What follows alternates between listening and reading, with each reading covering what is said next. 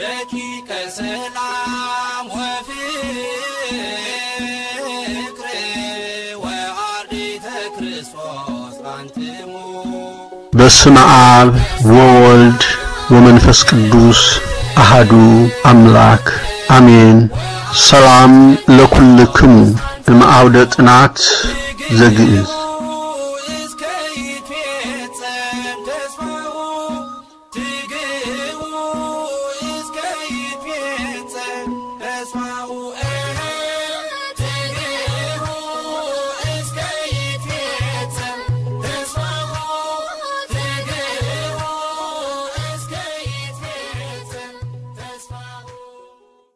በዛሬው በክፍል 13 ትምህርታችን ባለፈው በክፍል 10 ትምህርታችን ቃል በገባሁላችሁ መሰረት በግዕዝ ቋንቋ ሁለት ጽሑፎችን አቅርቤ እያንዳንዳችሁ ወደ አማርኛ ለመተርጎም እንድትሞክሩና ከፈተናው መልስ በኋላ ትርጉማቸውን እንደምተረጉምላችሁ ተነጋግረን ነበር። ስለዚህ ሁላችሁም ሞክራችሁ እንደሚሆን ሙሉ ተስፋ አለኝ። ዛሬ ከተለመደው ጊዜ ዘግየት ብዬ ነው ትምህርቱን ያዘጋጀሁት። እስከ ዛሬ በየአስራ አምስት ቀናት አርብ ወይንም ቅዳሜ ነበር የግዕዝን ትምህርት የማስተላልፈው። ሆኖም ግን በስራ ጥበት ምክንያት ሶስት ቀናት ዘግይቷል። ቢሆንም ዋናው ቁም ነገር ግን የሚተላለፈውን በተላለፈበት ቀን አንድ ጊዜ ብቻ አዳምጦ ወይንም አነቦ ማለፉ ላይ ሳይሆን እየደጋገሙ ማጥናቱና በተለያዩ አጋጣሚዎች ልምምድ ማድረጉ ስለሆነ በመካከል ሰፋ ያለ የጊዜ ክፍተት መኖሩ ይጠቅማል እንጂ አይጎዳም ብዬ አምናለሁ። በመሆኑም ዛሬ ሁለቱን የግዕዝ ደብዳቤዎች ወይንም ጽሑፎች ወደ አማርኛ እተረጉምላችኋለሁ። በንግግራችን መሰረት ቀድማችሁ ለመተርጎም የሞከራችሁ ሰዎች ካላችሁ ከሞከራችሁ ጋር እኔ የምሰጠውን ትርጉም አነጻጽሩ፣ የሚስተካከለውን አስተካክሉ ወይንም አርሙ። ያልገባችሁን በጥያቄ መልክ ብታቀርቡልኝ ማብራሪያ ልሰጣችሁ እችላለሁ። ለመተርጎም ያልሞከራችሁም ካላችሁ አሁንም መሞከሩ አይከፋም። ምክንያቱም ካልሞከርን በምንም ተአምር በመስማት ብቻ ማወቅ አንችልም። ይህ የሥርዓተ ትምህርት የማይታበል ሐቅ ነው። አሁን ለመከታተል ያመቻችሁ ዘንድ ትርጉሙን በከፊል በከፊል አረፍተ ነገራቱን እየከፋፈልኩ ወይንም በመለያየት እተረጉምላችኋለሁ። ተከታተሉ። አፈታቱ የሚሄደው አረፍተ ነገሩ በአማርኛ ሲነገር እንደሚሰጠው ትርጉም እንጂ እንደ ግዕዙ የቃላት አቀማመጥ ቅደም ተከተሉን ላይጠብቅ ይችላል። ይህ ማለት ለምሳሌ ኦ ድንግል ምልዕተ ውዳሴ የሚለውን ወደ አማርኛ መፍታት ብንፈልግ ልክ እንደ ቃላቱ አቀማመጥ ከመጀመሪያው ማለትም ኦ ድንግል ከሚለው አንጀምርም። የምንጀምረው ምልዕተ ውዳሴ ከሚለው ይሆናል። ይህ ሕግ በተለያዩ አረፍተ ነገራት ተመሳሳይ አይሆንም። ከመጀመሪያው አረፍተ ነገር ወይንም ቃል ሊጀምርም ይችላል፣ ላይጀምርም ይችላል። የሚወስነው የእያንዳንዱ አረፍተ ነገር ይዘት ነው። ስለዚህ ኦ ድንግል ምልዕተ ውዳሴ የሚለውን ለመፍታት ምልዕተ ውዳሴ ከሚለው ከሶስተኛው ቃል እንጀምራለን። በመሆኑም ወደ አማርኛ ሲተረጎም ምስጋናን የተመላሽ ድንግል ሆይ ይሆናል ማለት ነው። ስለዚህ በዚህ አረፍተ ነገር ይዘት ግዕዙ ወደ አማርኛ ሲተረጎም በግዕዙ የመጀመሪያ ቃል ወይም ሆሄ የነበረው በአማርኛው መጨረሻ ላይ ሆነ ማለት ነው። ሳስረዳ ቃላቱን ወይንም አረፍተ ነገራቱን የምደጋግምላችሁ በማወቅ ነው። ምክንያቱም በትምህርት ላይ መደጋገም ተማሪዎች ያልሰሙትን እንደገና እንዲሰሙ፣ ያልተገነዘቡትን እንዲገነዘቡ ይረዳል። አሁን ጽሑፉን እንዳለ በጀምላ አንድ ጊዜ እፈታላችኋለሁ። ከዚያ በኋላ አረፍተ ነገራቱን እየለያየሁ ግልጽ በሆነ መልኩ ፈታላችኋለሁ። ስትከታተሉ በግዕዝ ሲነበብ የንባቡን አቀማመጥ የሚነሳውንና የማይነሳውን ቃል ጭምር የሚናበበውንና የማይናበበውን ሁሉ መከታተል አለባችሁ። በግዕዝ ትልቁ ትኩረት የሚሰጠው የአነጋገር የአክሰንት የቃላቱ አንዱ የሚነሳ ነው፣ ሌላው የማይነሳ ነው። ስለዚህ ሁሉንም በተመሳሳይ እንደ አማርኛ ላናነበው እንችላለን ማለት ነው። በእርግጥ በአማርኛም አለ፣ በግዕዝ ግን የበለጠ የጎላ ነው። ስለዚህ የግዕዙን ጽሑፍ አንድ ጊዜ አነብላችኋለሁ። ሰላም ለክሙ አሃውየ ወአሃትየ አርዲእተ ልሳነ ግዕዝ ኩልክሙ ዮም እፈቅድ ከመ እንብብክሙ ወአለብወክሙ በይነ አሰርቱ ወአሃዱ ክፍላተ ትምህርትነ ዘመሃርኩክሙ በቅድም ወእምኔሆሙ እጤይቀክሙ አሰርተ ጥያቄያተ ወናሁ ይደልወክሙ ታንብቡ ወትስምዑ ኩሎሙ አርእስተ ትምህርት ዳግመ። አማርኛ የግዕዝ ቋንቋ ተማሪዎች ወንድሞችና እህቶች ሁላችሁ ሰላም ለእናንተ ይሁን ወይንም እንደምን አላችሁ። ዛሬ ወይንም በዛሬው ዕለት ከዚህ በፊት ስላስተማርኳችሁ አስራ አንድ የትምህርት ክፍሎች ወይም ክፍሎቻችን አስታውሳችሁና እነግራችሁ ዘንድ እወዳለሁ።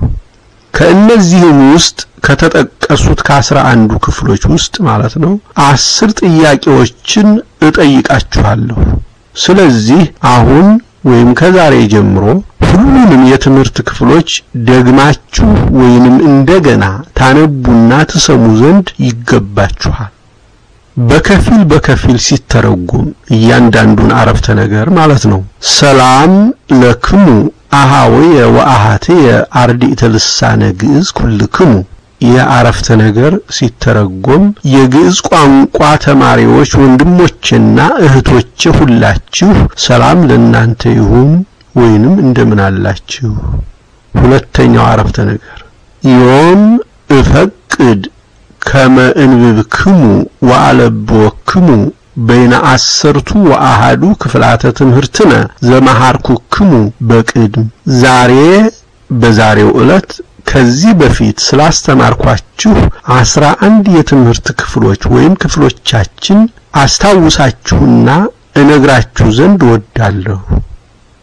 ሶስተኛው አረፍተ ነገር ወእምኔሆሙ እጤይቀክሙ አሰርተ ጥያቄያተ ከእነርሱም ውስጥ ከተጠቀሱት ከአስራ አንዱ ክፍሎች ማለት ነው አስር ጥያቄዎችን እጠይቃችኋለሁ። አራተኛው አረፍተ ነገር ወናሁ ይደልወክሙ ታንብቡ ወትስምዑ ኩሎሙ አርእስተ ትምህርት ዳግመ። ስለዚህ አሁን ከዛሬ ጀምሮ ማለት ነው ሁሉንም የትምህርት ክፍሎች ደግማችሁ ወይንም እንደገና ታነቡና ትሰሙ ዘንድ ይገባችኋል።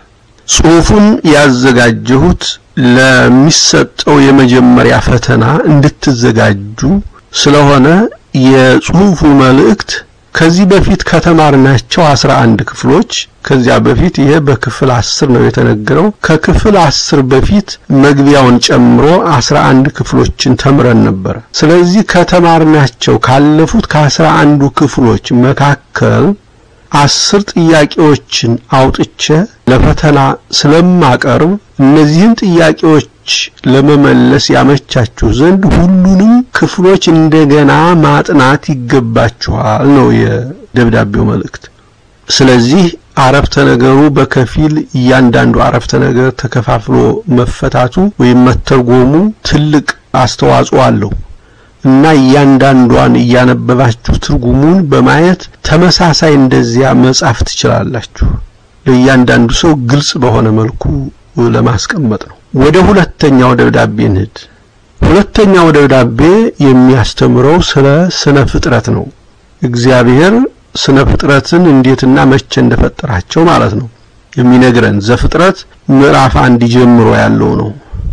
ሁለተኛው ደብዳቤ የመጀመሪያው ደብዳቤ ፈተናውን በማስመልከት ከራሴ ያዘጋጀሁት ነው ማለት ነው። ሁለተኛው ግን ከዘፍጥረት ምዕራፍ አንድ ታሪኩን ታገኛላችሁ።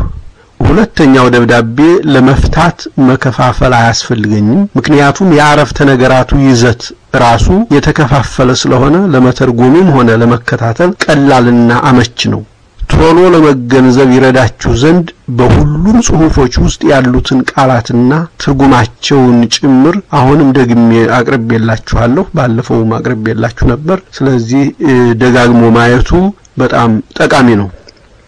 ግዕዝ ዛቲ ጦማረ መልእክት ትብጻ ሀበ አርድእትየ አርድእተ ልሳነ ግዕዝ ዘበሃበ ኩሉ ተፈቅረ ኦ አርድእት አፍቀርኩ ከመ እምሃርክሙ በይነ ዜና ፍጥረት ዘእግዚአብሔር አምላክነ። በቀዳሚ ዕለት ገብረ እግዚአብሔር ሰማየ ወምድረ። በሰኑይ ዕለት ገብረ እግዚአብሔር ማለት ነው። ባይረ ወየብሰ። በሰሉስ ዕለት ገብረ እግዚአብሔር ሐመልማለ።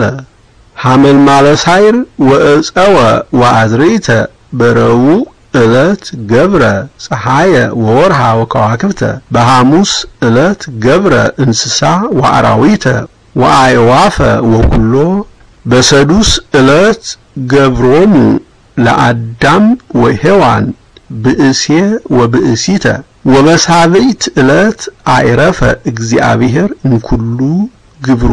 አማርኛ ይህች የመልእክት ደብዳቤ ወይም ጽሑፍ በሁሉ ዘንድ የተወደደ የሆነው የግዕዝ ቋንቋ ተማሪዎች ትድረስ።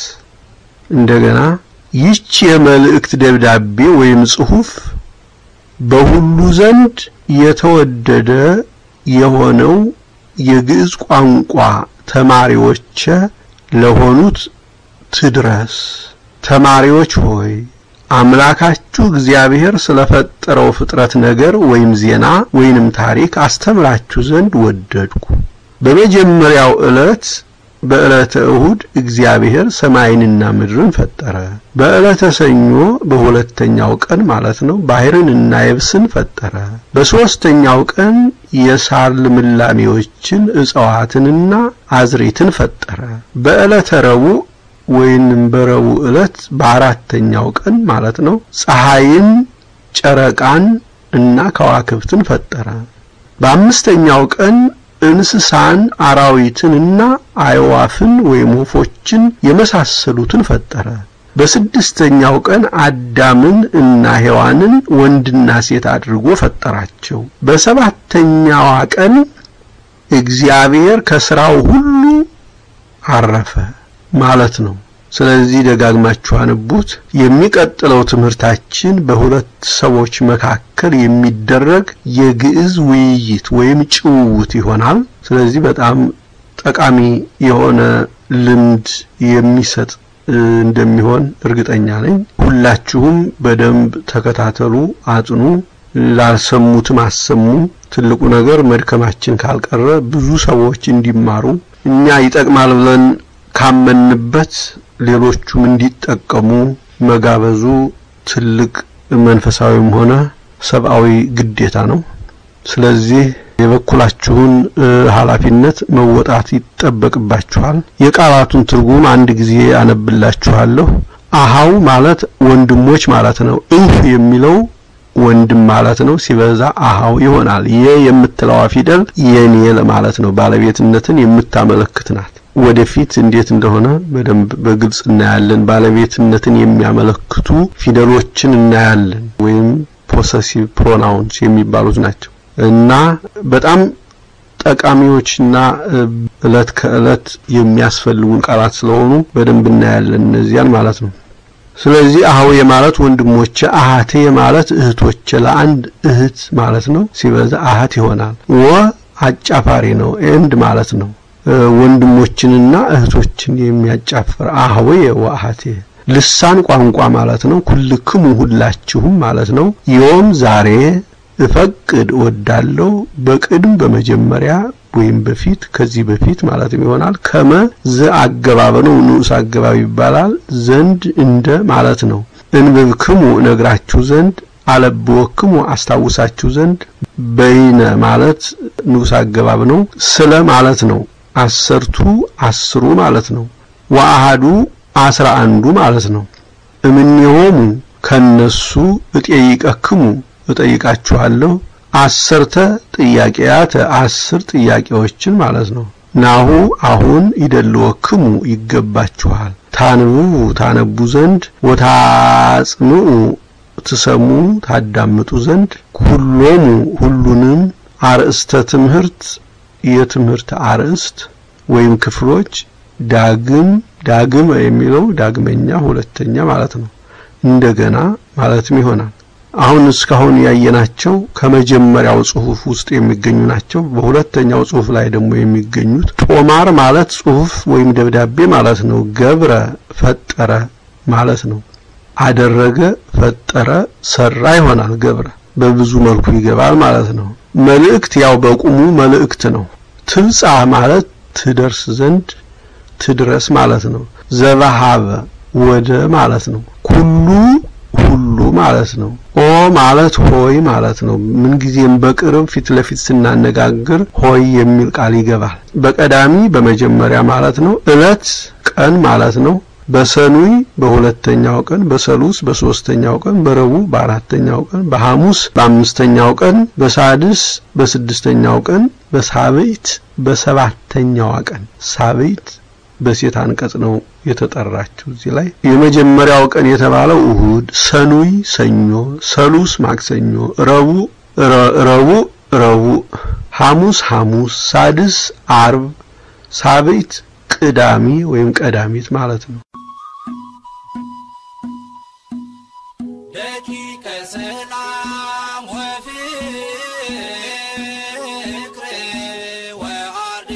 ክርስቶስ አንትሙ